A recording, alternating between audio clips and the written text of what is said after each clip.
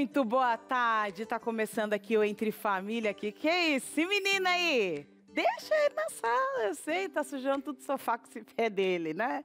É, as crianças é assim mesmo. O importante é você continuar aqui com a gente, deixa lá te distrair não, viu? Que hoje o pro... Ó, chega o rupiar aqui os Não. pelos do braço. Boa tarde. Boa tarde, Cris. Boa tarde, Carol. Não importa o que aconteceu na sua casa. Chega. Se o entregador de, de água Chega. chegou com o pé embarrado, se o cachorro comeu um pouco do papel higiênico que chegou em casa, ele fez a festa, não importa. É Agora, isso. se você está sorridente, a casa está brilhando também, não importa. Hoje é um assunto que ele é atemporal. Atemporal. Fantástico. Atemporal, arracial. Porque né, hoje nós vamos falar sobre... Existem palavras, não importa, Eu inventei não essa importa. palavra, O nosso não existe. glossário comportamental, ele não tem barreiras e limites. interessa, Não lá. interessa. Ô, nós estamos no mês da consciência negra, né? Uhum. Então, a negritude. Hey, Que que é hey, negritude. É disso que eu tô falando. Aí. É disso. E tira a primeira pedra que vai falar assim que eu sou 100% branco. Que não tem nada a ver com esse assunto. Que não tem nada a ver com esse assunto. Vamos falar hoje sobre consciência negra, entender os aspectos, aprender, viu, Cris? Aprender. Hoje é dia de aprender, um pouco Aprender. mais sobre a cultura preta. Vamos, vai ter trança, vai ter. Eu vou fazer negro, vai ter cabelo. nem, que é que seja, é? nem que seja só um aqui no canto. Mas como é que é isso aí? O quê? Não, porque aí a menina já estremeceu ali, ó. Chega com a mão Ó, dela, tá tremendo eu sem vou parar. dizer uma coisa. Como é que vai fazer um negócio nesse Posso ser cabelo? bem sincero a você? Eu estudei jornalismo. Quem fez trança vai ter que se virar. Ué, mas, Pega aqui e faz, ó. Pega... mas como é que é isso aí? Ah, tá dizendo que eu não tenho cabelo pra isso, tá caindo.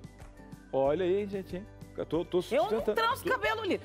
Não, não dá, Porque Christian. dá- dá- não, vamos aprender hoje o porquê. Hoje Tem tava... que ter cabelo, primeira coisa, tem que ter cabelo. Porque nós somos... É. Tem que ter cabelo, tem que ter Então me cabelo. empresta teu, deixa eu tirar aqui. Opa, Não pega meu cabelo que é caro. deixa eu tirar aqui. Não tira meu cabelo Não, que é pronto. caríssimo. Cada trança dessa aqui. Mas hoje, inclusive, vai ter trança de novo com É. Vai De ter. onde ela chega, preenche o ambiente. Não é. Ela é. vai, ela, é um negócio. Ela, olha, ela é E o televisi- especialista? é O especialista hoje é dia de aprender.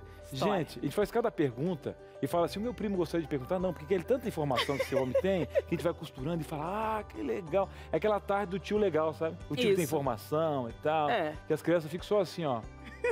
Entendeu? Apesar de que é o seguinte, eu tô mais pra cara de tio dele do que ele é meu tio. Ele é Mas eu tô novo, né? falando em questão Ele de é novo. conteúdo. Não, eu gosto quando você faz esse processo Ah. de incluir os outros na sua velhice.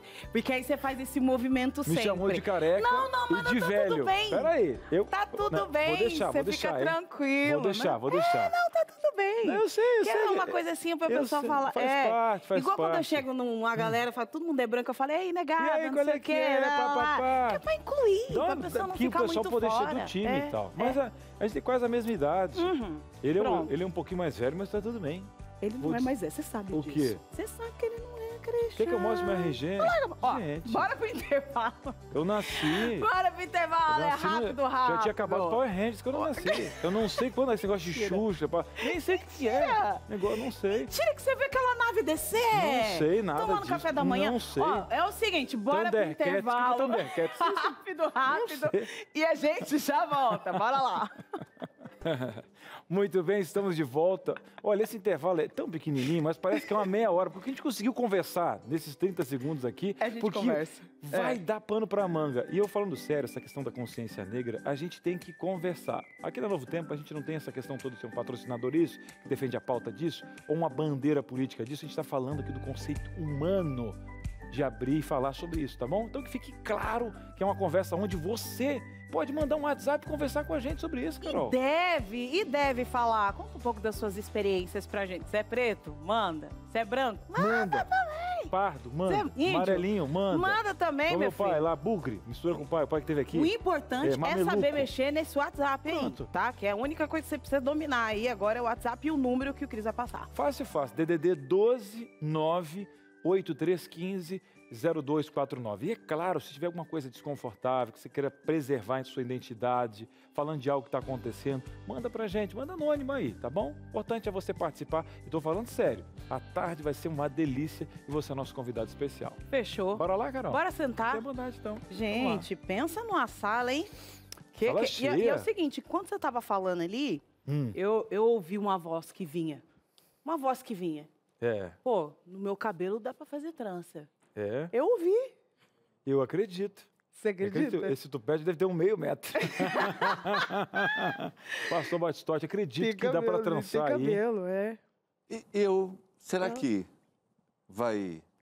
Eu, eu, eu Sim. não posso dar esse diagnóstico, porque eu, se fosse comigo, eu não transava. Pastor, não vai descolar? Eu não transava pra... Carol, Carol, O gel, pastor. Eu ri, mas não O era gel. isso que eu Não, tava rindo de uma piada que lá fora. Carol. Olha, não, eu avisei. Eu perdi que você eu não falei. Você avisou no não, primeiro o dia que dia. você chegou aqui, eu falei pra você. de um ano. Não dá intimidade. É, é, Eu você falei. avisou ele Tem que mudos. escolar o Eu falei. gel, gente. O Ó. gel. Não falei que é a peruca, gente. que peruca? Meu Deus do céu, o pessoal mistura as coisas. É, Eu posso mandar um abraço? Pode, Vai. pastor, pode. Que é um pedido aqui especial do, do nosso professor. Falando isso, você chamou ele de tio, né? Não. Porque ele é menino. Não, Eu, ele é menino. eu dei uma Ele é analogia de que parece os sobrinhos em Quem- volta do é tio não. do saber. Quem tá pra tio aqui somos Quem tá pra nós. tio? É. Somos Tá. algo muito Não, forte. e eu gosto dessa ideia. É. Somos é uma coisa muito forte. Ele, como historiador, vai falar desse pertencimento. Quais são as características que A envolvem? pessoa gosta de pertencer, Não, vamos gosta incluir. de pertencer. Quero mandar um É. abraço. Posso mandar um abraço? Pode, Quero pode. mandar um abraço para o Colégio Adventista de Paulínia, que o nosso jovem professor leciona. Meninão, Menino. meninão. Benino. Menino. Um abraço. Por que, Deus? Deus continue abençoando vocês aí.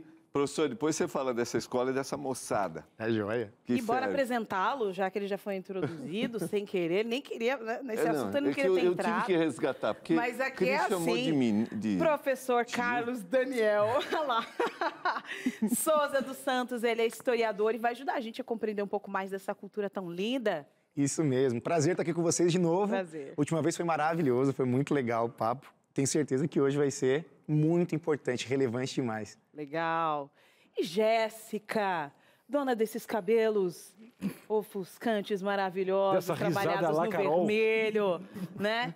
Ela tá maravilhosa, ela é empreendedora, dona de um salão afro que se chama Bela de Raiz. Seja muito bem-vinda. Muito obrigada mais uma vez pelo convite. Fico toda nervosa quando veio. Eu imagino. Um beijo para todas as belas que estão nos assistindo. Pedir para todo mundo assistir para ganhar desconto. Isso. Nossa, Eu quero saber É o seguinte: tem como fazer um- uma, uma trança ali? Foco lá. Tinha- Tem como não fazer uma ca- trança? Eu mesmo não vou nem envolver. Pode falar, fala você. Ela é muito carinhosa. Ela é- Fala você. Não, ela é muito carinhosa. Ela é muito carinhosa. Calma, deixa ela falar, deixa a profissional falar. Se não der, tudo bem. Mas deixa a menina falar, por como é que a gente favor. fala não de um jeito gentil na TV? É muito curto Christian, não, não tem. Não cabelo tem muito como. Tem que curto. ter cabelo. Não, não dá. O cabelo tem que ter uma aderência. Sim. Um negócio tem que No estar caso mais do pastor de escuro. escola, é que- o gel, o gel, a parte do gel, porque é para poder. Olha, eu gosto de dar nessa parte mais alta, no- né? Que ainda dá No para fazer topo. uma trança leve e tal. Aí fica estranho ficar com umas entradas. Aí... É. Não ri, não. Dá pra pegar uma maquininha um e fazer um coração Pastor- na lateral. Pastor, ó, defende as entradas ali, ó, e deixa do pet como tá. Depende do Isso. Ô, Cris, não fica fazendo isso, fica Não, eu tô mim. tentando traduzir aqui uma linguagem técnica. Ele não se contém, ele não se contém. Vamos agora ao nosso assunto. Vamos. Vamos lá, vamos centrar. Meu Deus, não é fácil não, fácil não. Hoje falamos aqui sobre o mês, né, da consciência negra. E por quê? Qual a importância, Carlos, de nós reservarmos um mês, né, para falar sobre a cultura negra? Olha, falando de Brasil, a gente e falando de história, o primeiro ponto que é muito importante para a gente é que história fala de identidade. Identidade está inteiramente ligada com a realidade. Então, quando a gente vê a realidade do Brasil, a gente tem que se perguntar primeiro, qual é a realidade do Brasil? Hoje nós somos 213 milhões de brasileiros. Desses, 56% se declaram pretos ou pardos mais da metade da população do Brasil. E quando eu olho para essa realidade e eu começo a pesquisar sobre os dados, eu gosto muito disso, eu começo a perceber que, por exemplo, hoje, no nosso país, uma mulher branca ganha em média 70% a mais do que uma mulher preta. Hoje, no nosso país, em uma mesma função, um branco e um preto, o preto vai ganhar 17% a menos do que um branco. E são vários dados, vocês podem, eh, se for demais, vocês me avisam, não tem problema nenhum, porque, cara, a cada 100 médicos que se formam no Brasil hoje, três médicos são pretos. Cargos executivos de grandes empresas, 94% deles são ocupados por brancos. Quando eu olho para esses números, a gente pode ir além deles, né? É, número de formandos é, na faculdade hoje no Brasil, a cada de 100%, 2,66% são pretos. Quando eu olho para essa lógica, a primeira pergunta que eu me faço é: peraí, tem alguma coisa errada. Ou duas, né? Ou Eles duas. não querem estar ou não podem estar. Exatamente. Aí, poxa, eles não querem estar? Nossa, como assim, né? E se não podem E quem está não quer o recurso igual, né? Pensando Exato, na questão sim. dos recursos. Exatamente. Então, quando eu olho para esses dados, isso me chama para o passado com uma pergunta: quem construiu essa história? Por que é assim e não de outra forma? E aí, através do estudo da história, eu começo a puxar respostas para tentar responder sobre isso. Por que é assim, então? Por que é Quem assim? construiu essa história? Vamos nessa? Olha só. Porque eu acho que... A escravidão. Na mão de quem está a caneta, né? Essa é a pergunta. A história dos vencedores, né? É sempre a história dos vencedores. A nossa história, ela é composta de 356 anos de escravidão. O nosso país foi o último país da América a acabar com a escravidão. A cidade de Campinas, que é muito próxima à, à- à região que a gente se encontra aqui, foi a última cidade do Brasil a acabar com a escrvidão. Pertinho aqui. Se tem um minha sistema cidade natal. no nosso país que funcionou e funcionou muito bem, foi articulado, foi preparado para dar certo, foi a escravidão no Brasil. E aí entra um ponto muito interessante que às vezes a gente não comenta muito, mas é que a escravidão ela operou na ilegalidade por décadas. Porque normalmente a gente fala que a escravidão vai ser abolida com a princesa Isabel, Mesmo após a abolição, então. Sim. antes. E aí, e aí vem o, o plot twist, que é o seguinte: a escravidão acaba em 1888. Porém, desde 1808, o Brasil já havia se comprometido a acabar com a escravidão. 80 anos. Dom João se comprometeu com os ingleses a acabar com a escravidão. Não acabou. Para nossa independência ser assinada e reconhecida pelos ingleses, isso em 1826, o acordo era: acabem com a escravidão. Não acabaram com a escravidão. Em 1831, Lei Feijó dizia que todo preto que pisasse no Brasil a partir dessa lei seria livre. E o resultado foi qual? Nunca se escravizou tanto quanto após a Lei Feijó, em 1831. Criou-se uma porta, mas para a prisão. Exatamente. E piora, porque os ingleses, em 1845, vão ter que criar uma lei chamada Bill Alberdin. E nessa lei eles vão dizer o seguinte: já chega. Cara, se a gente encontrar algum navio, alguma embarcação no oceano trazendo escravos para o Brasil, a gente vai apreender essas embarcações. Até que em 1850, com a lei Eusébio de Queiroz, começa a diminuir a quantidade de escravos para o Brasil. O Brasil recebeu 5 milhões de escravos Uau.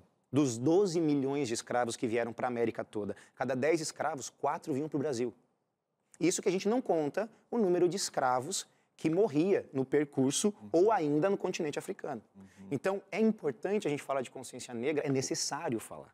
Porque, infelizmente, a gente vive em um país onde, olha só, é, pastor, o senhor nasceu em que ano? Se quiser falar, não, Não. tem problema. 1970. 1970. O seu pai? Ah, meu pai tem, set- vai fazer 75 anos. 47. Eu acho 40, e- é, por Em aí. 47. É, por aí. o seu avô, possivelmente o seu bisavô, certeza, viveram no Brasil da escravidão. Isso quer dizer que de nós aqui, para a escravidão, existe um espaço de três, Três gerações. gerações. Como não falar da escravidão, né? Esse é um ponto muito importante, né? E tem tudo a ver com as diferenças hoje na cultura negra, né? Mas também a história do povo preto, ela vem muito antes da escravidão. E é isso que eu acho mais legal. Então, quando a gente vai falar sobre, por exemplo, essa trança que eu estou usando aqui, que faz parte da nossa cultura, e que a gente vai falar que ela foi. é, mais para frente você vai entender aqui alguns aspectos e algumas estratégias que o negro usou para estar aqui.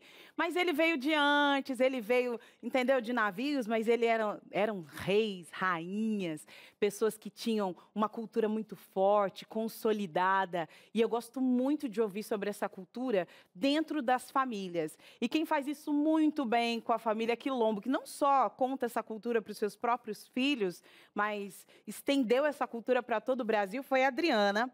Adriana Arcebispo, né? Ela é social media, ela é mãe, ela é mulher, ela é preta e ela é aí da família Quilombo. Seja muito bem-vinda. Boa tarde, Adriana. Olá, boa tarde. Que prazer estar aqui com vocês mais uma vez. Quero cumprimentar todo mundo aí do estúdio. Estou aprendendo muito aqui também. Que bom estar aqui. Gostoso estar com você, Dri. É o seguinte, é, uma vez eu vi um post seu, um tempo atrás, não sei se você falou desse assunto é, recentemente, é, sobre o momento em que você trança seus filhos, né? E eu acho tão legal é, falar desse assunto, porque era assim na minha casa também. A negritude reservava aquele momento, era um momento especial, e de se falar da cultura e a conexão da mãe e do filho. É, conta um pouco pra gente dessa história, que pode ter muita gente aqui que não entende qual é o valor, por exemplo, do trançar, né? Essa, o que eu posso falar, né, que faz parte da nossa cultura, que a gente vai passando de geração em geração. Um vai trançando o outro. A mãe trança o filho, as filhas trançam as irmãs. É, qual é o valor da trança na cultura negra, por exemplo? O mais curioso é que eu estava falando sobre isso com a Dandara ontem, né? Então, você já me apresentou, sou Adriana Arcebispo, sou assistente social, criadora de conteúdo digital e junto com a minha família falo da família Quilombo nas redes sociais. É a nossa família, que é uma família preta, que é um espaço de afeto, mas também um espaço de resistência, por isso família Quilombo. É, eu estava conversando com a Dandara, eu tenho uma, uma filha que se chama Dandara, que tem seis anos, e o Akins, meu filho de 10 anos, e junto com é, eu tenho meu marido, né, o Jones, a gente é casado já faz 15 anos, e a gente conversa muito sobre isso, né? Que a trança é uma forma da gente viver a nossa ancestralidade, né? Às vezes eu estava vendo ali, né, o pastor é, falando pouco, dá para trançar, não dá. E aí é importante a gente diferenciar a trança do dia a dia, que a pessoa faz uma trança, etc., do que, dessa trança nagô, dessa trança que veio de África, dessa trança que significa, que significa ancestralidade, troca de afeto. Ontem eu estava dizendo para Dandara, a minha tataravó trançou a minha tataravó, trançou minha bisavó, que trançou minha avó, que trançou minha mãe, que me trançou e hoje eu tranço minha filha e meu filho, né? Isso, é, isso é um aspecto histórico da nossa, da, da nossa, da nossa cultura cultura.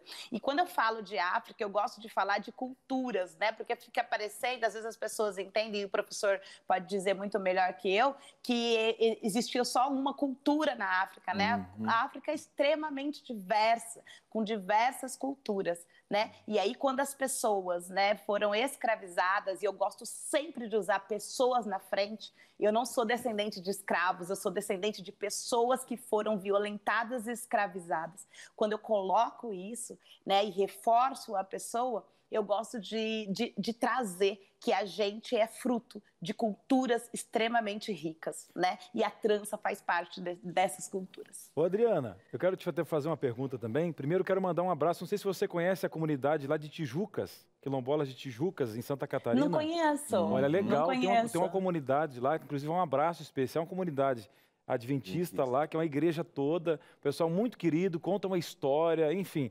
Tem um dia que você for lá um, dar um pulinho na praia, dê um pulinho em Tijucas, ali pertinho de Itapema, vá lá que tem legal. uma comunidade inteira e tem uma história legal de gerações. Agora, o que eu acho legal, né, é que você está trazendo toda uma história, uma cultura africana, mas quando a gente mistura em uma outra cultura, a gente acaba criando uma outra cultura. Porque a gente sempre vai misturando coisas, né? Por exemplo, o meu pai trouxe, todo um, um histórico do cuscuz para minha casa, ele que é descendente de índios, mas a minha mãe é de italianos. Mas é uma mistura. Então a gente tem uma mistura de comer lá no sul a cuca com algo doce e salgado. É, mas o histórico de pessoas que você está falando, ele trouxe essa questão toda do que a minha família tem, do que ela carrega, né? Esses princípios especiais.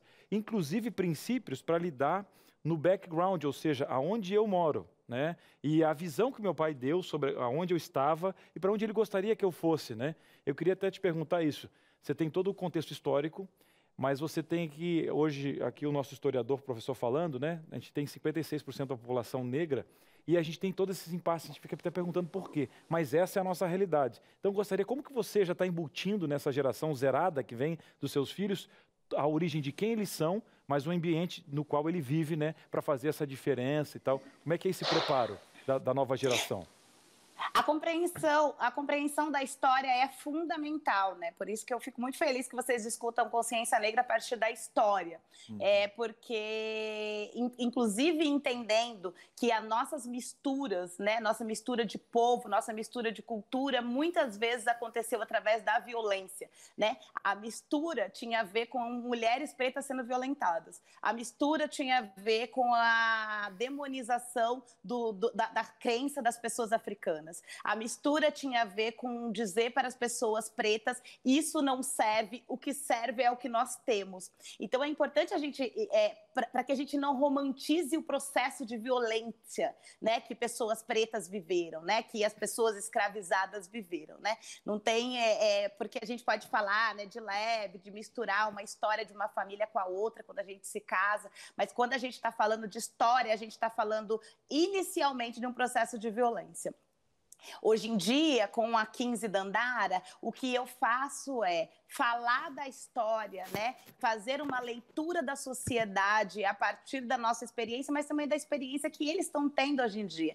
A 15 Dandara estão aí lendo o mundo, né? Estão estudando nas suas escolas, tendo seus amigos, ouvindo, assistindo TV, não se vendo representado.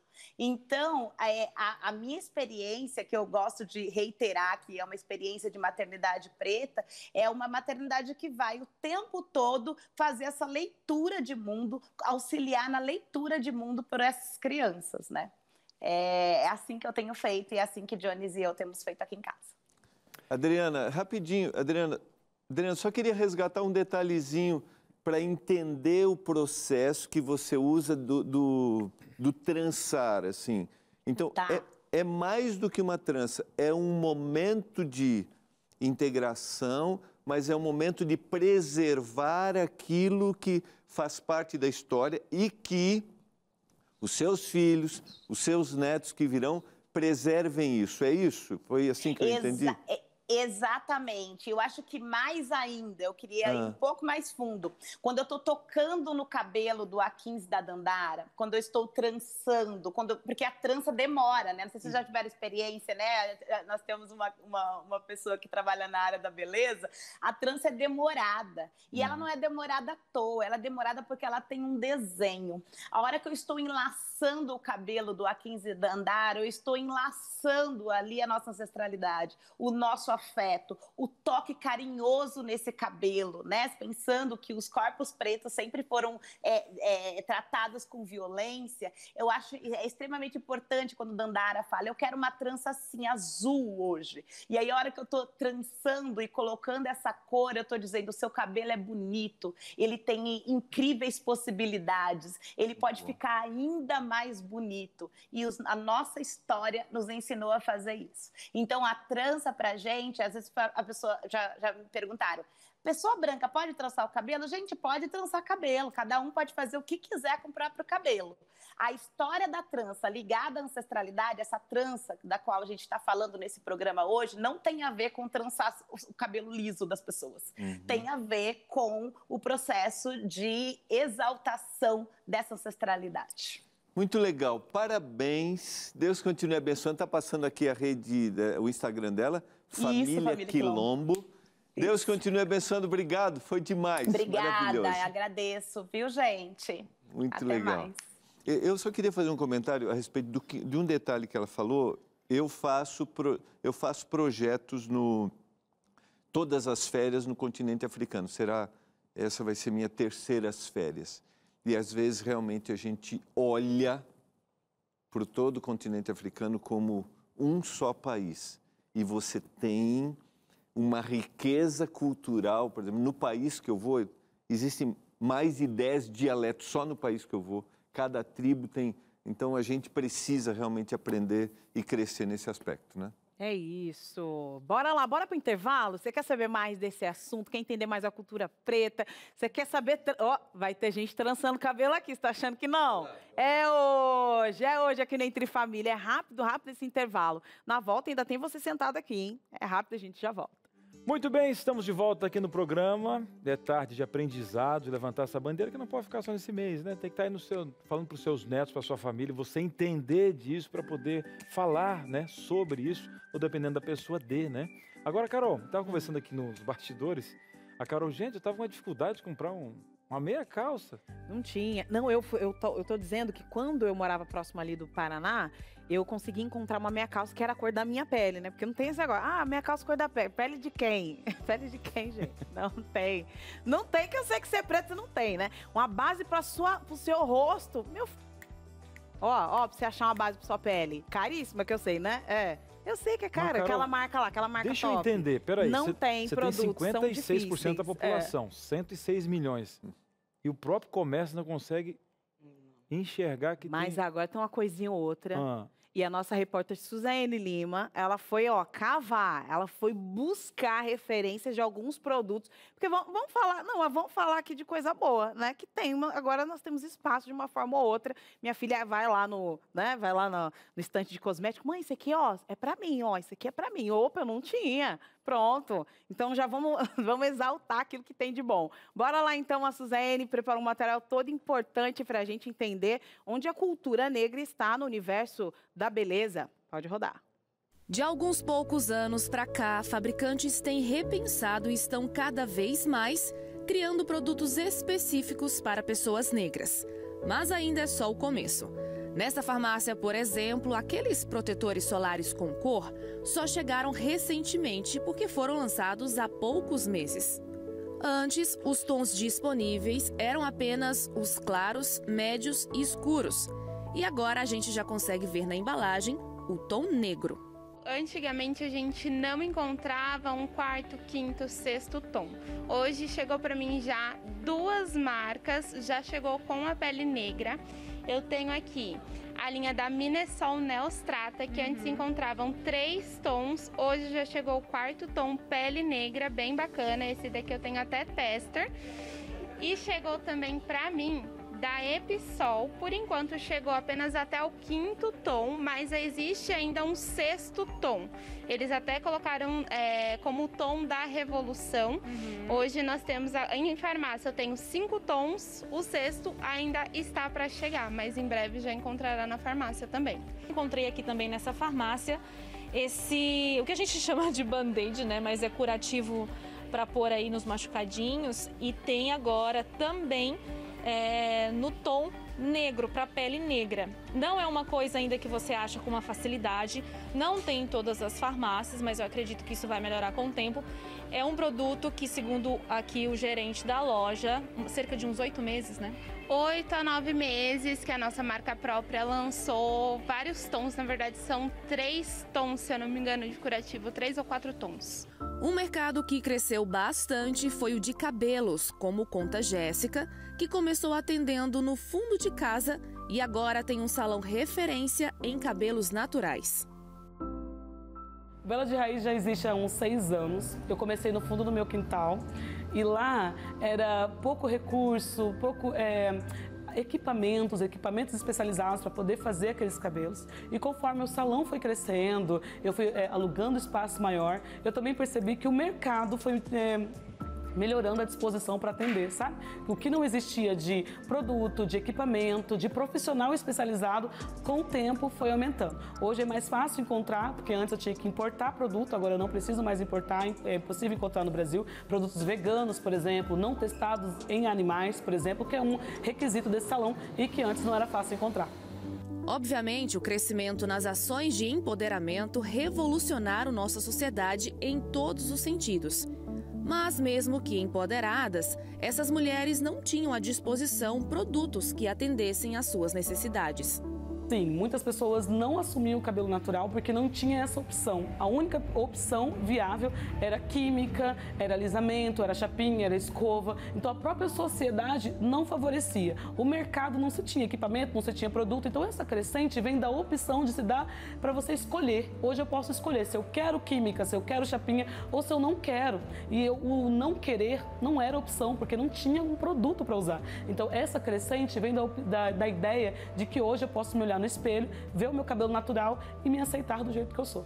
Já na linha de maquiagem, não é isso que a gente encontra, não tem tanta novidade no mercado. Você pode observar aqui os tons é, da base. O mais escuro que a gente encontra são esses aqui, ó. Tem esse, tem esse outro, que são para mulheres morenas. E às vezes até um pouco contraditório, porque se você olhar aqui na propaganda da marca, tem uma mulher negra é, exibindo aqui o batom, mas não tem uma base no tom de pele dela. Então chega a ser contraditório, né? Uma modelo negra é, fazendo publicidade para uma marca que não tem a base na cor de pele dela.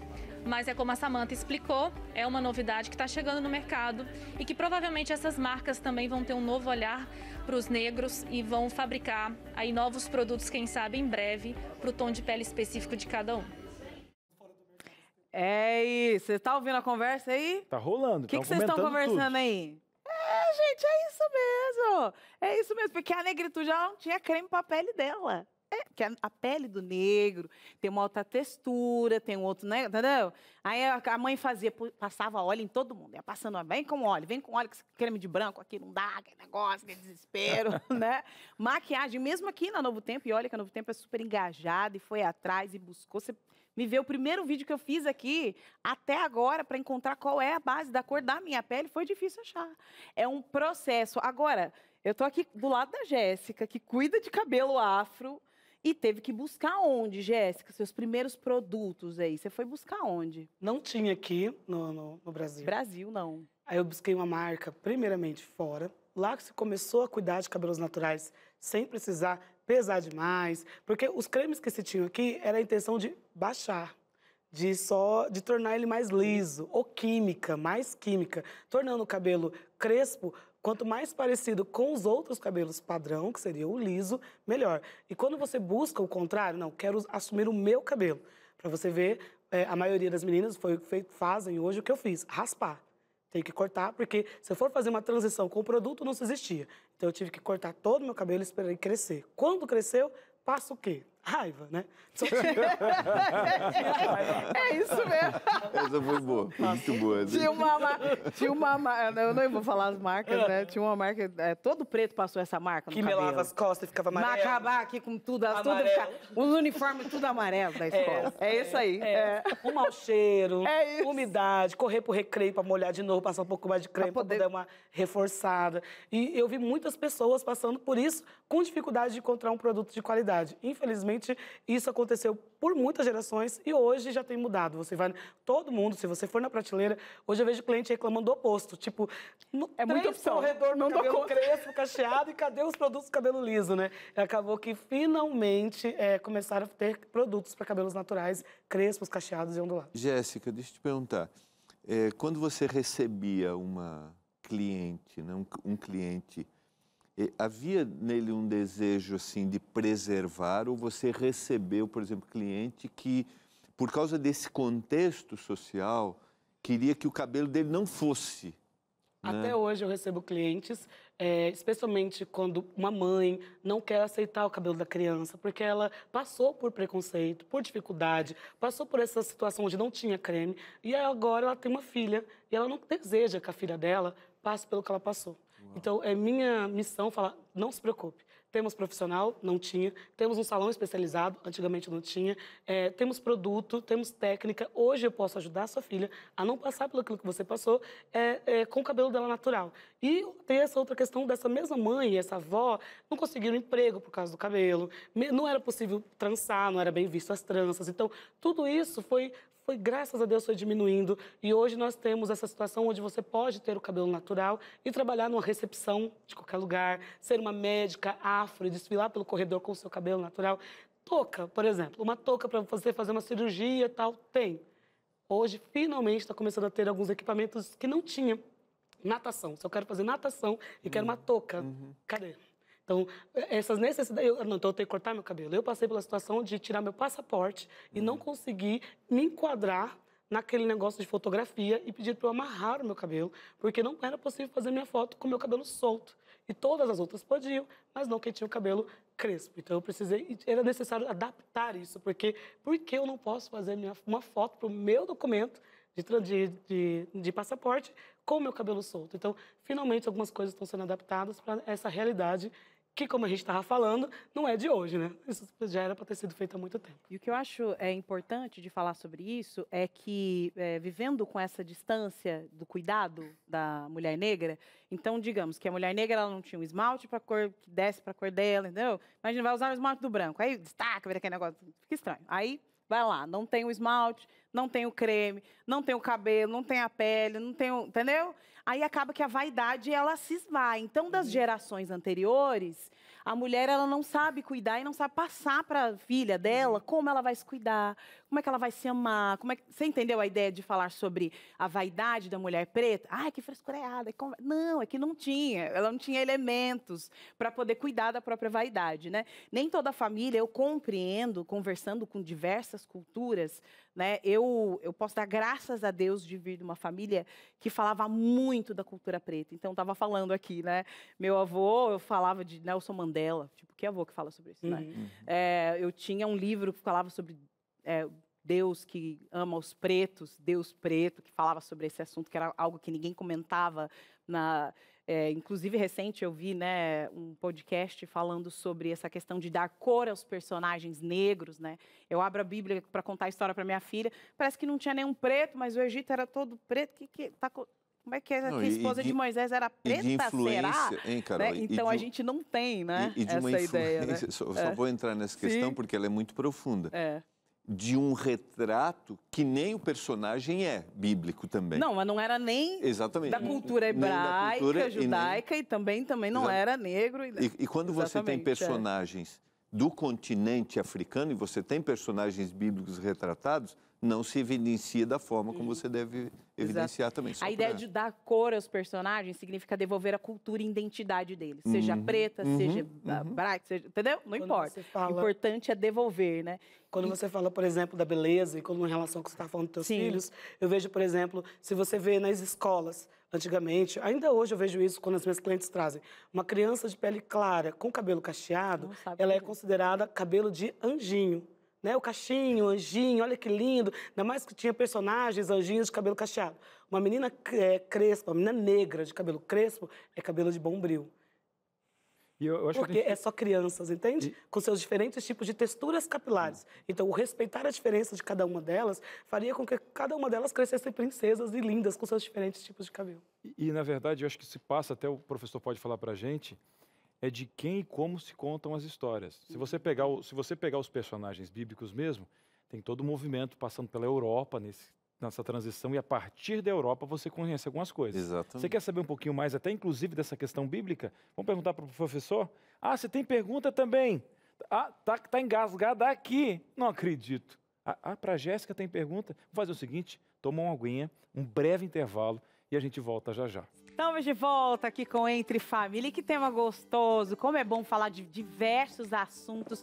E que bom, né? A gente fazer parte de uma rede que a gente pode falar sobre esses assuntos com tranquilidade e aprender. E por falar em aprendizado, olha quem está aqui, a minha transista maravilhosa. E ela já está deixando outra pessoa muito linda, porque o negócio dela é esse. Ela é trançada, ela trança, ela faz o negócio acontecer. Eu vou ficar aqui bem do ladinho. A, La, a Larissa, né? Larissa tá aqui. E é porque, olha, colocaram ela do lado errado. Porque ela vai virar essa trança aqui para ver o lado de lá. Dá uma viradinha aqui. Tá? Olha isso. Que, que, que, você que fez também, amiga? Tudo bem? Tudo. Bom, olha só, agora ela tá aqui trançando o Jason. Ela tá tímida, tá tímida. Ela quer, o negócio dela é trançar, mas quando tá lá no salão, ela fala, tá, gente? Que ela não quer falar é que ela fala, vai dar tudo certo. tá aqui o Jason sendo trançado. Fala um pouquinho da trança que você está fazendo é, para o Jason aí. A trança dele, é, eu escolhi um modelo mais rapidinho para a gente fazer aqui agora. É uma trança bem simplesinha, ela é mais retinha, caidinha. E é isso. a Jéssica vai falar mais aqui sobre essa trança aqui, olha. A Laís, eu prometei que ela não ia perguntar, ela não ia falar Isso, ela Você me promete que eu não... Aí eu coloco o microfone na boca, na dela. boca dela. A gente estava falando um pouco sobre essa questão das diferenças das tranças, uhum. né? E tem a diferença que a gente conhece, que é aquela família trans daquele jeito, aquela mãe, aquela avó trans daquele jeito. Isso era muito comum na minha região ali. Todo mundo sabia, ah, a filha é de fulano lá Ó, os Félix lá, tá? Porque a trança era aquela mesma trança que minha mãe fazia em todo mundo, né? Agora, essa trança, ela tem um significado muito mais profundo, né? Sim, desde a África, né? Sim. As famílias, como você disse, eh, tinha desenhos diferentes de trança. Era possível ver saber o estado civil de uma moça. aí. E se ela estava apta para casar, dependendo da trança que ela utilizava. Também se uma, uma viúva, né? Se ela já estava pronta para um novo relacionamento, ela trocava o estilo da trança. Também era possível saber as crianças, qual, qual escolas elas estudavam, dependendo da trança que ela fazia. Aqui, nós temos desenhos diferentes de trança, que duram bastante, como essa que você está utilizando, que tem uma duração média, como a da Laís, e a do Jason, um desenho trançado, como a folha que eu estou utilizando, e penteados com trança, como esse penteado que a, Lari, que a Larissa está utilizando. Olha, e aí, quando a gente fala da trança lagoa, tem um ponto muito importante, é, que eu acho que poucas pessoas... Nós falamos aqui, eu acho, da outra vez, né? Mas vamos reforçar, enfim, falar sobre a trança lagoa, que também servia como mapa, né? Sim. eram mapas. Então, além de identificar uma tribo, além de identificar aquela mulher, se ela estava pronta ou não para um relacionamento, onde ela estudava, de onde ela vinha, né? Tinha também essa questão de que a trança era uma estratégia de sobrevivência. estratégia. Exato. Por exemplo, é, alguns, é, na época da escravidão aqui no Brasil, alguns escravos conseguiam fugir e, infelizmente, eram recapturados. Mas eles sabiam como chegar, como voltar para um lugar seguro, né? E assim eles desenhavam o mapa no chão e as mulheres que eram já trancistas, que já trouxeram essa cultura da trança é, da África, elas conseguiam desenhar os mapas na cabeça. Se você for ver, na época era plantação, certo? Cada linha de trança na Go era um eito. Então, a partir, então contava um eito, dois eitos, três eitos. A partir de, de ter terminado a trança, tinha-se um desenho especial. E através de cada desenho diferente, de nó diferente, de curva, eles conseguiam exemplificar se tinha árvore, se tinha rio. é, e assim era mais fácil de você conseguir chegar no lugar seguro. Fora que geralmente essas tranças eram feitas na cabeça da mulher ou da criança, ou seja, o homem teria que levar alguém junto. Né, a valorização da, Da mulher família dentro da cultura, né? Sim. Era a família, não era algo, não, eu vou aqui, não, não, não, eu tô falando da minha família juntos. E é muito legal É saber história, desse né? É assunto, nossa- né, é nossa dessa história de- história. De, de sobrevivência. De E a minha mãe sempre falava assim: o que, que é isso, gente? Quando minha irmã falava assim: ah, eu não quero trançar. Não, não, não. Isso aqui é questão de sobrevivência, minha filha. Eu sei que você não tá naquela época, mas como é que você não vai saber trançar? Você é uma mulher preta? O que, que é isso? não tinha jeito, não. Todo mundo tinha que saber trançar para trançar a outra irmã e tudo mais. Que, é, uma mãe, ela não ia passar A sua uma vida diva, né, Laís? trançando a... é ou não é? Laís? A Laís hoje ela é transista, por quê? A mãe dela falou assim, o quê pra você? Falou. Hum, mas se eu não trançasse. Que isso, minha filha? Que isso? A minha avó trançava. E vai arrumar minha mãe como esse cabelo? Eu tranço e as minhas irmãs também trançam. É, não tem essa conversa, não tem. e eu acho que o importante agora, né, é que além de ser uma cultura familiar, isso também virou algo para o comércio, né? Sim, hoje em dia muitas pessoas gostam de fazer a trança. Ela, graças às redes sociais, a trança voltou a ter esse boom, né? Muitas pessoas mostrando, muitas pessoas fazendo. Então, muitas pessoas procuram o salão para fazer diferentes tipos de trança. É, um, um menino, porque quer durar mais tempo, quer deixar o black crescer, quer aparecer com aquele black legal, e aí a trança segura esse crescimento dessa desse cabelo. As meninas, porque querem fazer um estilo diferente, colocar uma cor diferente, como a Laís está utilizando agora, ou até uma durabilidade maior, como essa trança que você está utilizando. Então, tem esse, esse apego comercial, mas, sobretudo, é importante você saber a história. Por isso que lá no Bela, a gente faz a trança e conta de onde ela veio, é, o porquê que ela é importante para esse povo que gosta de trazer... é, demonstrar de família em família, né? Levar é, além disso. Então, é muito mais, como a moça estava falando, é a Adriana o nome dela? Ô, Jéssica, vamos falar sobre os cuidados? Porque aí Bora. é assim, quando um preto ele trança, a primeira coisa que alguém vai perguntar é como manter. Você lava o cabelo? Não. Um preto, ele não lava, tá? Imagina. Ele não se lava. Que, para com graça, menina. O que, que é isso? Vem me cheirar pra você ver como é que tá esse negócio aqui, tá uma beleza. É o seguinte, vamos falar um pouco sobre os cuidados, né? Porque, de fato, as pessoas falam, mas você lava, mas lava como? Mas aí você tira pra lavar e depois você põe de novo seis horas depois, com a Laís sentada, todo dia ela está lá na sua casa, te destrançando e destrançando você novamente? Bom, não. Se você tem essa dúvida, eu vou te responder. E a primeira coisa, para você não perguntar, tá? quando você vê uma menina de cabelo trançado, não pergunta não quer dizer elegante, mas então você já vou, já tirar essa dúvida. Sim, elas lavam normalmente, se esfrega o caminho da trança, é muito bem cheirosa. Pra, o melhor jeito de manter, primeiramente, é escolher uma boa transista para não machucar o seu couro cabeludo, usar material de qualidade, um gel de péssima qualidade pode dar alergia. Então, a, a manutenção dessa trança no dia a dia em casa é bem tranquilo. As mães podem fazer nas filhas para ir para a escola, para manter aquele cabelo organizadinho, sabe? Para não voltar misturado com, com giz de cera. Então, dá para trançar esse cabelo tranquilamente. Tem cursos hoje que facilitam o aprendizado, mas para manter, se for uma trança de longa duração, como a da Carol, só lavar, shampoo, belezinha, tranquilinho, fácil de manter. Uma trança média como a da Laís, em 15 dias tem que retirar. Uma trança lateral também dura 15 dias, que é esse desenho que vocês estão vendo aqui. Então, cada trança tem uma durabilidade, se o material for de qualidade. E a transista for igual a Laís, tá tranquilo. Aê! Daqui a pouquinho vamos passar aqui o Instagram de Laís. Eu sei. é isso. Eu sei, vai bombar, vai bombar. Agora, tem essa questão também, né, da durabilidade. Então, quando a mulher vai dormir, é importante também essas dicas, que eu acho que dica Sim. de ouro, né? Porque a gente passou a nossa vida dormindo com a minha calça na cabeça, eu não me arrependo, que isso me fez feliz, fez minha trança durar mais, tá? Que senão, dá-lhe eu lá de novo com a minha irmã, batendo coronhada na minha cabeça. Porque irmão trançando irmão não é igual sua mãe trançando, tá, filha? Porque você, o quê? Você comeu o Danone dele. E agora você tá na mão dele com ele trançando seu cabelo. Você tá entendendo o que que é? É isso. Então, o negócio não é fácil. Minha irmã já vinha, já dava aquelas... Fica quieta. Vem. Eu falei, eu não vou mais pegar sua roupa, me deixa. E é importante saber como a gente faz para manter mais, né? Então, um ponto importante é... É, cetim. Touca de cetim, que É, foi a maior invenção humana para cabelo. aquela touca, Foi. aquela meia que a gente esperava calça que furar. não caía bem, né? Não caía bem, você recém casou, você vai pôr a meia calça, né? Ou você já põe logo no namoro, um dia sai com ele e fala, ó, é isso a realidade. É essa. você vai lidando com isso. Isso, tem touca de cetim de várias cores, facilita para você dormir em paz, tranquilo. Condicionador, melhor não. É, excesso de condicionadores e produtos oleosos faz com que a, a trança acabe escorregando. Aí. Então, ela incha. é, se você ficar, se você tiver o couro cabeludo sensível ou tiver com queda capilar, nem trance. É melhor você esperar, procurar um dermatologista. Não vá com queda capilar e nem com couro cabeludo muito sensível, gente, porque, né, Jason? Puxa um pouquinho. O Jason ele, tá aqui Jason. lembrando, assim, ele tá achando que é a própria irmã dele, né, Jason? Tá trançando na raiva, né? É tranquilo trançar, Jason? Já trançou outras vezes ou não? Essa é a primeira vez que eu tranço o cabelo. É verdade. É. Dói um pouquinho. A É gente não útil. tá acostumado, a gente não tá esperando a dor. Quanto tempo o Jason Porque vai o único ficar? que assim? encosta na sua cabeça é você mesmo, né? Também Sim. tem isso, né? Que ninguém Exatamente. encosta em cabeça de cacheado. Exatamente. Mas a Laís assim, tá tendo muita misericórdia de mim.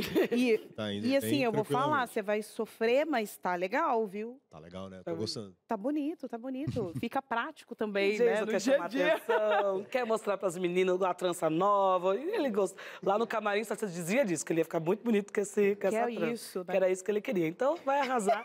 vai durar mais ou menos uns 15 dias. Soube que você vai viajar, né, Jason?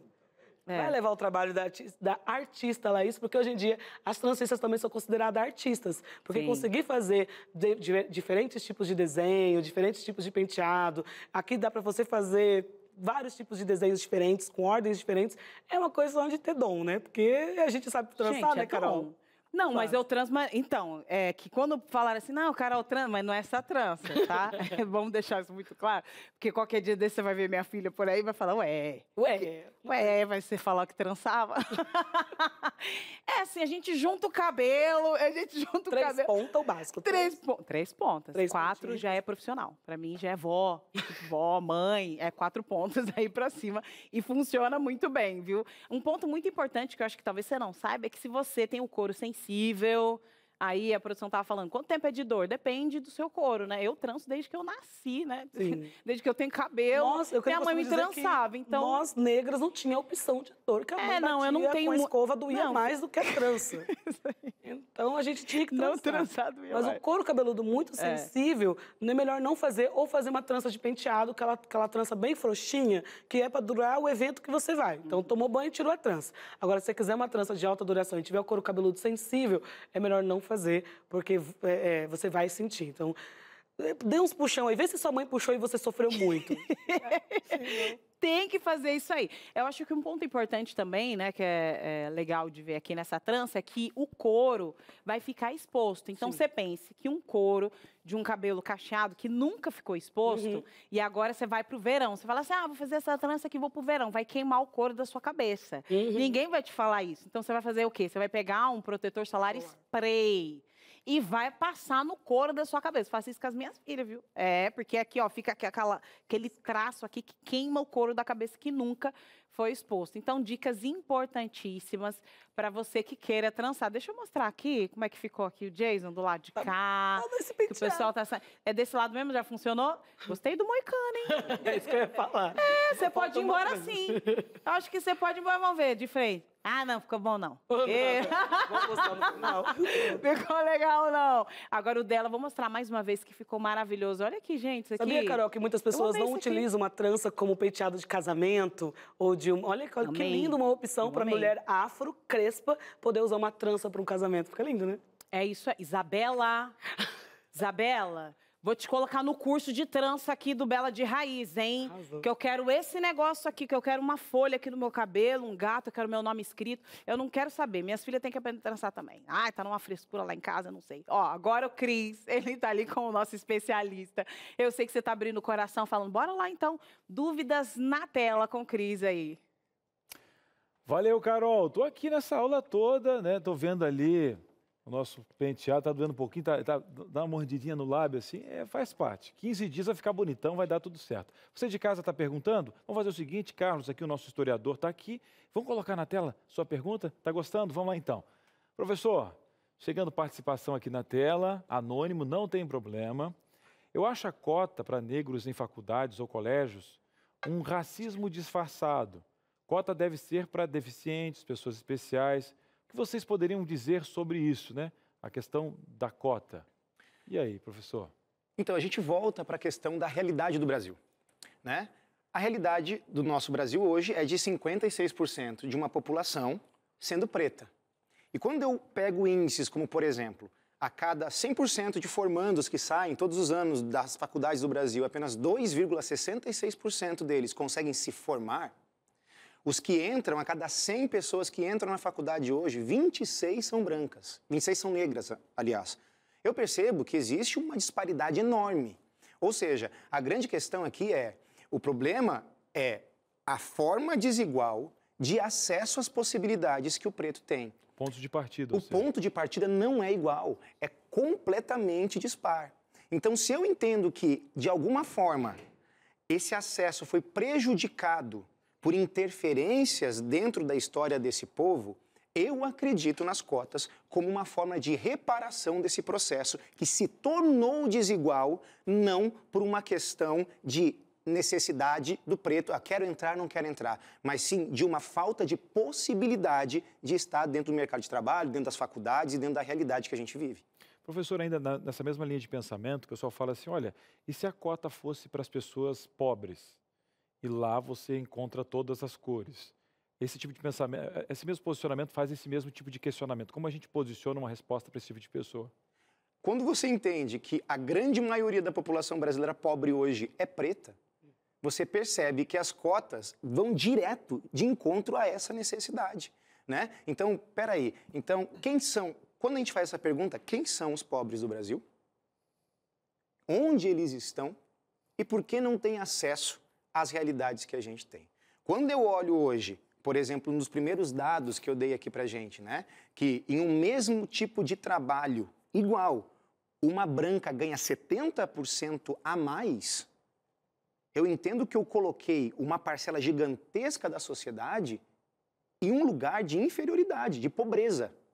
A questão das cotas solucionaria, inclusive, na minha visão, parte desse problema também da pobreza, porque a questão é o acesso às possibilidades. Né? A pobreza hoje é um problema sistemático de todo o Brasil, mas atinge diretamente a população preta por uma questão de processo histórico e de falta de atenção. Eu posso dar até um exemplo sobre isso. A gente estava falando aqui sobre a questão da proclamação da República do Brasil e a questão da Lei Áurea em 1888. Quando a gente acaba de vez com a escravidão no Brasil, o que é feito com o preto? A partir de agora o preto está livre. Mas ele está livre para ir para onde? Quais condições? Ele vai fazer o quê?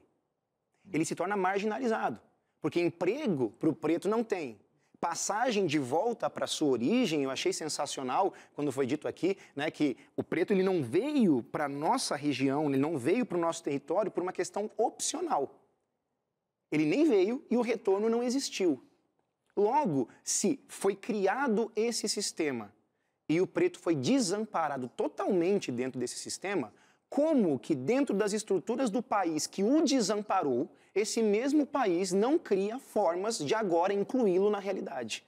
É algo para a gente se pensar, para a gente construir uma possibilidade. Então, eu acredito, de novo, que as cotas tratam exatamente dessa dívida histórica, dessa reparação histórica que precisa acontecer com pessoas, como foi dito aqui, que não tiveram nem sequer a escolha de decidir estar ou não estar dentro da realidade do Brasil de hoje, por exemplo.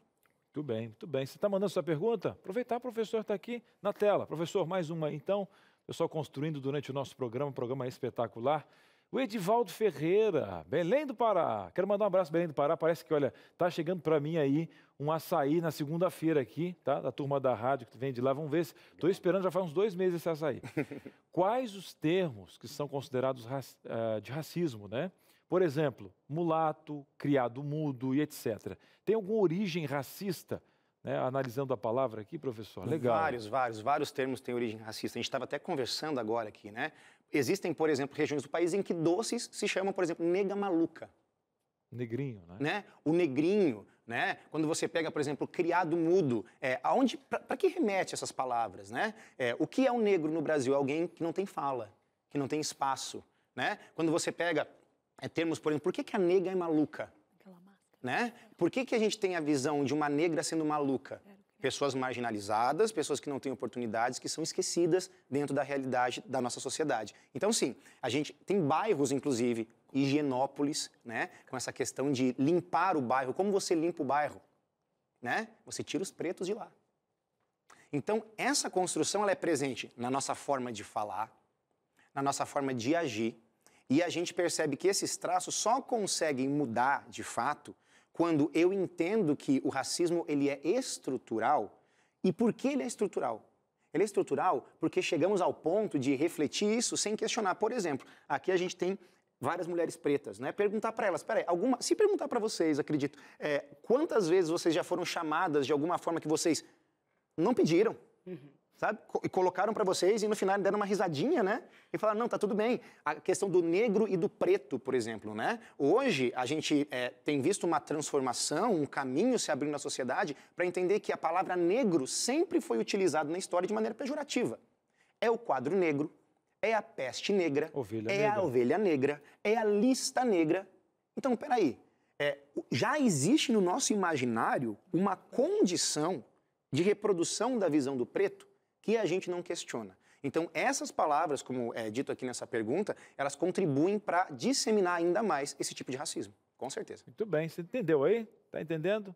Ah, não tem nada de frescura nesse quesito aqui, né? Está vendo essa questão histórica? É a forma simples de você quebrar um círculo na sua casa, com seu filho, mostrando como se deve se portar. E aí você faz a diferença, meu querido. Quer mudar o mundo, às vezes não varre nossa calçada. Vamos lá.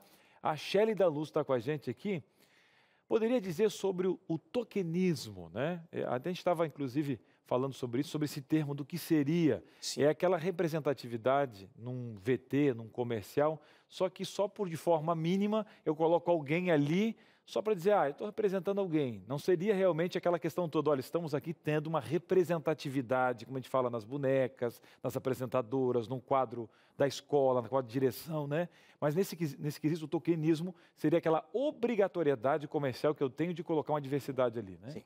Eu acredito que o tokenismo é uma higienização do racismo.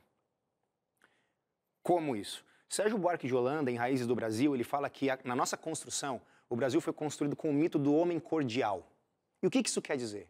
Isso quer dizer que a gente aprendeu que para conviver com as pessoas eu utilizo é, da educação para ainda assim continuar exigindo os meus interesses. A história do Brasil é construída com a história dos vencedores.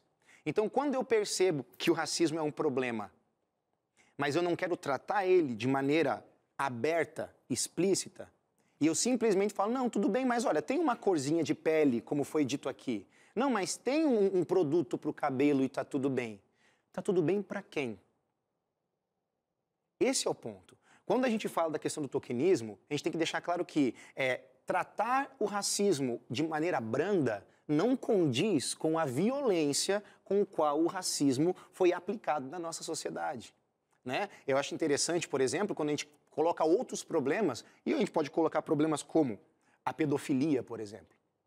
Você não consegue utilizar termos como tokenismo dentro, de uma, dentro da pedofilia. E racismo é o quê? É crime no Brasil.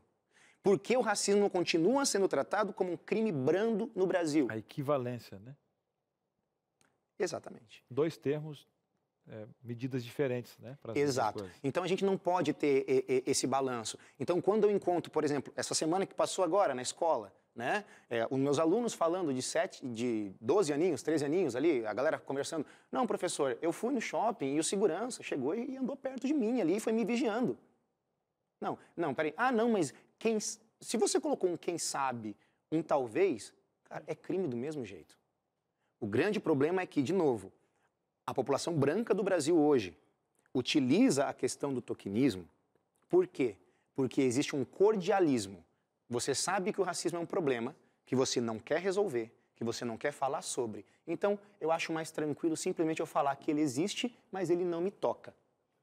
Entende? Forte, hein, professor? Você de casa está passando aí? Ah, não, essa piadinha, porque ele é meu amigo, né? Essas coisas acontecem e tal, né? Você não se posiciona. É o chamado passapano, você sabe? Meu querido, é forte, hein? Vamos falar um pouquinho mais sobre esse pessoal que passa pano, que é tão forte quanto aquele que faz a gente vai fazer o seguinte: aqui a gente não passa pano e nem cobre o sol com a peneira aqui, tá bom? A gente vai para um breve intervalo e fala desse assunto maravilhoso aqui, entre família, onde a gente tem que falar, no, no centro da nossa família. Um breve intervalo, voltamos já já. Muito bem, estamos de volta. O assunto pegando fogo aqui e acontece o seguinte, meu querido: que a gente não pode, dentro da nossa família, é, pegar e dizer: não, tá tudo bem, não, é que o seu avô passava assim, tudo bem. Ó, vô já foi, voltou ao pó, tem esperança dele voltar, agora ficou você. Agora, o que você tem em mãos? Esses dias eu estava conversando com meu filho, não precisei falar nada para ele. Pegou o lápis de cor, pintou cada um da cor. De... Por quê? Não teve essa questão toda de, de cor da pele, cor. Meu querido, e tem que acabar nos mínimos detalhes. Por que a gente está fazendo algo pedagógico? Tem que ser, meu querido. E urgente. Urgente, porque muitas vezes é fácil falar, porque você não sentiu na pele isso aí. Né? E tem aquela diferença em falar sobre e falar de, né? que aí dá toda a diferença de como você se coloca no lugar de alguém, mas o que vive isso todos os dias. Vamos fazer o seguinte: Olha aqui, tem uma revista aqui que é diálogo. Tem coisa que a gente não fala na família. Não, é proibido falar. Fala de racismo, não, Deus o livre. Proibido falar de sexo aqui dentro, né? Tal, tal. Aí quem ensina os teus filhos é a rua, é a demanda, é o efeito manada. Para com isso, meu querido. O compromisso da tua família é com você. Está aí dentro da casa. De mostrar as coisas, mostrar o caminho. Não é verdade? Ah, quando fala, quando adulto fala, quando ouve. E outra, vou dizer uma coisa para você. Tem coisas que você nem precisa falar. Tem coisas que você vai fazer, o modo de andar, o modo de agir, as palavras que você vai usar dentro de casa, como você vai lidar, como você vai olhar para o outro, como você vai quebrar essa questão estrutural, tem a ver com o discipulado. Então a gente tem que ter diálogo aqui dentro com o esposo que está errado, esse fez. E outra, se tem uma coisa que o ser humano faz que é ótimo, é reconhecer que está errado. Poxa, errei. Poxa, não sabia que era isso aí. Quero aprender. A gente não ouve o outro. Só que é blá, blá, blá, blá, blá, blá, né? Aprende dentro de casa a conversar com os filhos, filhos e discipular. Show de bola? Cris, eu quero essa revista. E aqui a gente vai falar sobre emoções venenosas, porque a pressão, às vezes, de fora, destrói o que tem dentro. Não é verdade? E aqui vai mostrar um Deus maravilhoso, vai mostrar quem você é. Não que o mundo fala que você é, mas esse Deus maravilhoso. Vamos fazer o seguinte, vamos pedir essa revista agora? Vamos pedir essa revista agora aqui e falar sobre vários temas, trabalhar o diálogo na família? 0 Operadora 12 21 27 3121. Liga agora, pede essa revista de graça para a gente poder ter mais diálogo. Que você está entalado com esse assunto agora, vendo todo mundo falar, vendo o professor, meu Deus do céu, eu não consigo, eu não consigo ter essa veia aqui dentro de casa. Meu querido, é dentro de casa que você muda uma nação. Você começa aí, na sua casa. Então vamos pedir a revista, trabalhar diálogo? Cris, eu quero pelo WhatsApp, DDD 12 9 8244 4449. E falando de família, nós teremos aí uma semana chegando, que é o SOS Família.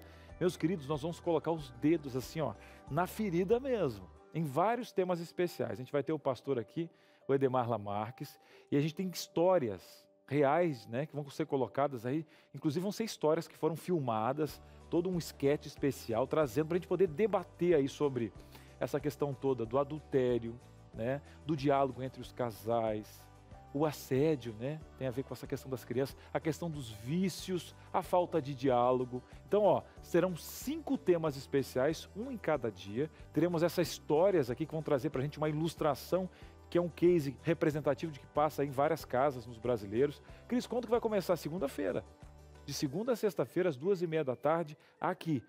Todos os dias, um tema diferente. E essa semana toda chama-se SOS Família. Coloca na agenda, semana que vem, de segunda a sexta-feira, Edemar Lamarques aqui, ele que é doutor nessa área de atendimento familiar, então não perca tempo, tá bom? Vamos fazer o seguinte, vamos voltar aqui para a nossa sala da verdade, já que a gente falou sobre família, eu acho muito bacana de que a, a gente tem que começar a falar dentro de casa e, e o que o pessoal às vezes fala que é, ah, o pessoal está cheio de mimimi, né? E o que está falando? É que é nos detalhes que essa visão estrutural é construída. A gente quer mudar uma cultura? Como a gente muda a cultura? Pequenos processos. Então a gente tem que fazer uma revisão e o reconhecimento que você fez isso, talvez até sem saber porque veio de um discipulado, é a maior humildade da humanidade dizer, poxa, reconhecer e que, e o que erro. existe, né? E que existe. Então a isso. gente não pode negar, porque a gente tem a tendência de é, disfarçar, como você falou, né? Então nós não podemos negar que isso existe. Isso é histórico, mas isso se preserva. E a grande questão é o que fazer para que eu descontinue esse processo histórico que, que eu, como indivíduo, posso fazer, as ações governamentais. Eu, eu, a pergunta das cotas ali, né? É, é muito mais do que uma conscientização de que existe para uma desconstrução do que, na realidade, uma solução. Mas, mas é assim que você, que você começa um processo de desconstrução, né? E não é um processo perfeito, mas necessário. Ex exatamente. Porque você vê pontos de partida diferentes, é muito fácil você pegar, pega alguém, alimenta durante uma semana, a pessoa treina, aí depois os dois vão fazer uma corrida, né? Aí você imagina como é que é esse ponto de partida, né? Então, Eu... entender esses pontos de partida quando você vai disputar uma vaga, é, e fora todo o peso de uma sociedade que não aprendeu ainda, porque na própria seleção, a pessoa às vezes ela tem que, tipo, pega uma mulher, só o contexto da mulher, ela vai ter que trabalhar bem mais para ter o mesmo salário. É, você pega, enfim, é, você sai de um ponto de partida diferente, apesar de você depois conseguir o que você conseguiu, você vai ter que fazer a mais para poder pegar a mesma vaga. Então, eu acho que... Eu, eu, perdão. Eu, acho que... Pode falar, professor. Não, eu só ia perguntar para a professora a frase, aquela do... É que não, na, eu não, o indivíduo não nasce um racista, mas a gente... Ele se torna. Ele se torna Ele é construído É, porque um o Cris, foi o que o Cris falou, né? Eu não lembro de quem é essa frase. Semana passada, pastor, meus alunos, criança ensina demais. A gente falando sobre liberdade religiosa, né? E aí eu falei para os alunos assim, pessoal, é, vocês acham que tem problema entre religiões e, e, tal? Os alunos responderam assim, professor, isso é coisa de adulto. A gente não tem isso, não. É, é, a mesma métrica. Né? O, o racismo, para se tornar algo é, tão enraizado, ele foi exposto de maneira natural dentro da realidade. Ele foi exposto de maneira natural. E dentro dessa questão que o senhor falou, como então a gente, a gente muda esse processo? Primeiro é reconhecendo. Eu preciso reconhecer que o país em que eu vivo não trata as pessoas, e o país não, né? Que nós, brasileiros, que eu, branco, eu que tive acesso a uma escola particular, eu que tive acesso a uma faculdade, eu que tive acesso a oportunidades, o Brasil não é o mesmo Brasil que é para mim, que é para os outros. É, são, são, países, re, realidades completamente distintas. Achei legal que, que você falou essa questão do, do indígena, né, agora há pouco, porque a gente tende a utilizar a nossa métrica sempre. E em história, a gente aprende a ler a história, a historiografia, que é o senso crítico ao ler o texto. A primeira pergunta que a gente faz é quem está escrevendo o texto? E aí, quando a gente fala de cota e de racismo, a gente percebe que a maioria das páginas são escritas por pessoas brancas. Que o preto não fez parte do processo. E normalmente, quem não defende essas medidas de reformulação, ou até mesmo só de reflexão sobre isso, curiosamente, são brancos que não passaram por esse processo. É o que a gente chama de lugar de fala, né? Então, quando compreendo o meu lugar de fala e dentro né, da cultura negra, os negros também têm os seus lugares de fala. Eu, Carolina, tenho o meu lugar de fala. Você que está assistindo aí, que é mãe preta, solo, está aí com seu filho do seu lado, tem o seu lugar de fala e esses pontos importantes. Agora, mais do que falar sobre como a sociedade pode enxergar o preto, é importante entender como ele se viu nesse processo como um todo. Então, por mais que hoje nós tenhamos, por exemplo, cotas, que é um processo, é um processo, como se diz, é o ideal, é o que todo mundo quer. Cada um tem a sua opinião, mas não importa. O importante é que alguma coisa seja realizada e que daí a gente vá crescendo. Também não pode estacionar onde está, uhum. é, mas aí a gente vai crescendo, vai ampliando todos os processos. É importante entender se eu, enquanto mulher preta, me vejo lá. Será que esse é um espaço que eu posso habitar? Será que eu consigo mesmo ser o que eu quero ser? Será que eu posso lutar para que essa mulher branca, que faz a mesma coisa que eu faço, para que eu consiga vencer e lutar e conseguir ganhar tanto quanto ela, seja lá o que eu tenho que fazer? Então, assim, para isso a gente está falando de uma estruturação psíquica familiar. Depende do quanto a sua família fala para você, não importa a cor que você tenha. Não importa o quanto você venha. De onde você vem? Meu avô falava assim: olha, vocês todos aqui nasceram com uma bigorna na perna. Aí todo mundo fala, nossa, que horror, que conversa é É, porque vai ser mais pesado. Então, treina a sua perna para você correr mais rápido do que quem está com o pé livre. Então, é, ele usava esse termo e a gente criança, tipo, falando do que, que ele está falando, e eu adulta compreendo que quando você está com um peso na perna lá na academia, aí você treina com ele. Quando você tira, vai o quê? Vai longe, não é?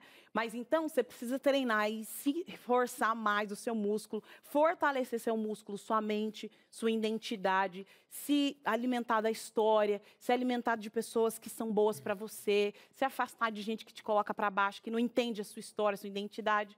Para quê? Para que você consiga correr mais rápido, porque você tem sim um peso nas costas de uma visão que a sociedade impôs sobre você. Então, compreender a história faz com que não só mude a trajetória e que eu venho de uma família que fala, não interessa se isso vai mudar o branco, o vizinho, o ciclano, o importante é mudar a sua visão. Como eu posso construir a minha identidade através da minha história, entendendo que a minha história como negra vem muito antes de um processo de escravidão. Perfeito. E quando a gente fala dessa, dessa identidade, eu acho que é muito importante, foi frisado aqui, a questão da violência que foi causada para o preto. A gente não falou muito sobre, sobre é, esse legado, porque, de fato, a gente pega o Egito Antigo, um dos maiores impérios que o mundo já viu. A gente pega a diversidade que, que existe, inclusive hoje, na África, né? E muitas vezes, como o pastor falou no começo, é, gente, o que a gente sabe sobre a história da África? Né? Eu fiz uma pós-graduação recentemente sobre cultura africana para tentar me aprofundar mais. Eu percebi que existe um mundo, um universo né, de, de, de cores, fascinante. De, de, de, oportunidades, de vivências. Fascinante. E aí, de novo, a gente entra na questão do por que não falamos mais sobre isso? Né? Porque a gente não tem essa. A gente fala, o brasileiro parece que tem um orgulho europeu e esquece que quase 60% desse sangue é africano. Então, se se inverteu esse processo, eu não sei se dá tempo de falar um pouco sobre o, o contexto da escravidão, né, para quem está em casa entender e perceber é, essa raiz e da onde vem essa muralha. Né? Quando o, o, a pessoa né, escravizada era capturada, ela ficava cerca de dois meses no litoral africano com outras comunidades africanas da qual ele não entendia a língua, não entendia os costumes, não entendia a visão, esperando por sei lá o quê. Quando os tumbeiros chegavam para recolher esses escravos, e aí, por que o nome tumbeiro? Porque os, as embarcações fediam a gente morta e a fezes. O que era feito com essas pessoas? Essas pessoas eram. O peito delas era marcado como gado. E detalhe: príncipes, rainhas, líderes, como foi dito aqui. Essas pessoas eram jogadas em porões. Um tumbeiro suportava 400 a 500 pessoas no porão a porta era fechada, a temperatura chegava a 55 graus lá embaixo. A alimentação era dada uma vez ao dia e colocavam 500 pessoas dentro desses tumbeiros, por quê? Porque 30 a 40% morriam já na viagem. Os corpos ficavam lá embaixo quatro, três dias, ninguém fazia nada, porque não era interessante para o branco, e aí a gente volta para a pergunta, não era interessante para o branco perceber o que estava acontecendo com o preto. Quando o preto chegava, a viagem mais curta, pastor, durava 35 dias, de Angola a Pernambuco.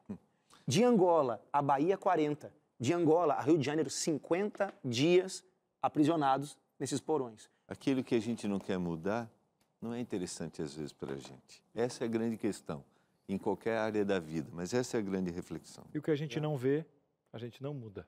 É, exatamente. Ex exatamente.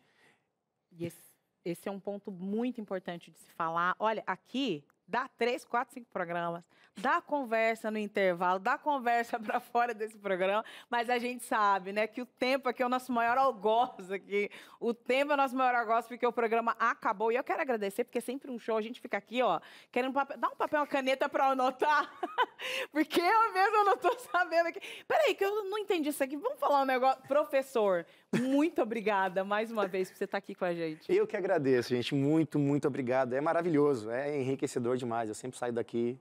Vamos é, gravar uma série, professor? Vamos gravar uma série, Uma hein? história aqui, ó. Tô dentro, já, já Então topei. tá pronto, Posso diretor. deitar aqui atrás? Diretor já falou. A Diretor, nossa então história. Tá, tá tudo Vamos nessa, certo, vamos tá nessa. tudo certo. Nossa história entre família. Pronto, fechou. Vamos levar ele Fechou. para lugares históricos aqui no Brasil, no mundo. Pronto, é isso. Tá combinado, contrato fechado.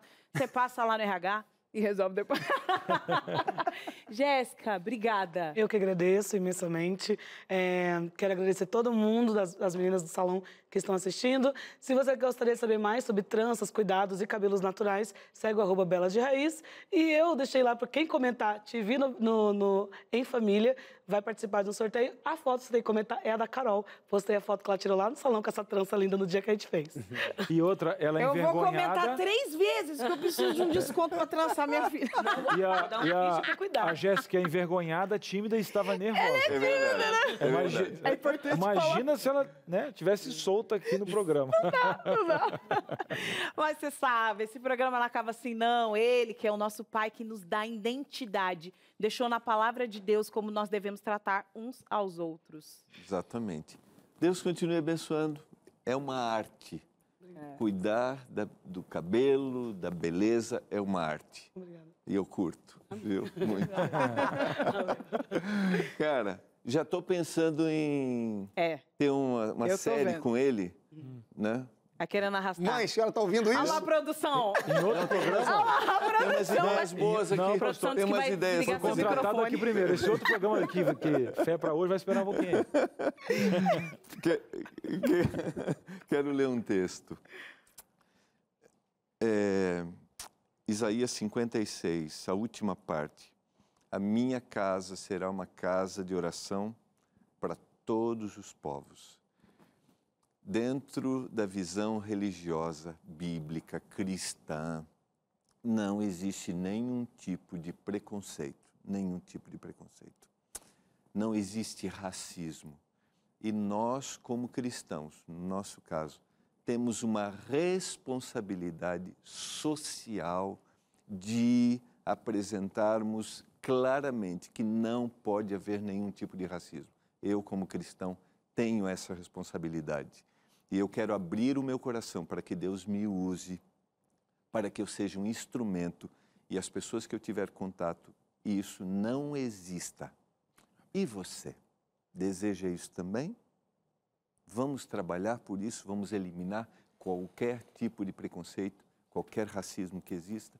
Não esqueça, o Senhor só precisa de um coração aberto para realizar milagres e transformações. E Paulo vai dizer na carta aos Gálatas que aquele que recebeu a Jesus Cristo não trata ninguém com nenhum tipo de preconceito.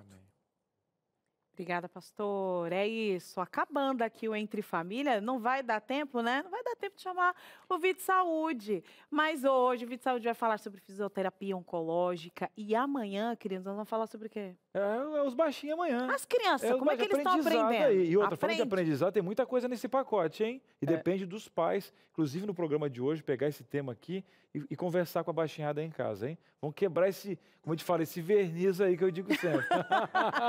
No degradê, pelo Esse- menos. no degradê, É tem que ser pedagógico. São duas frases que é usado.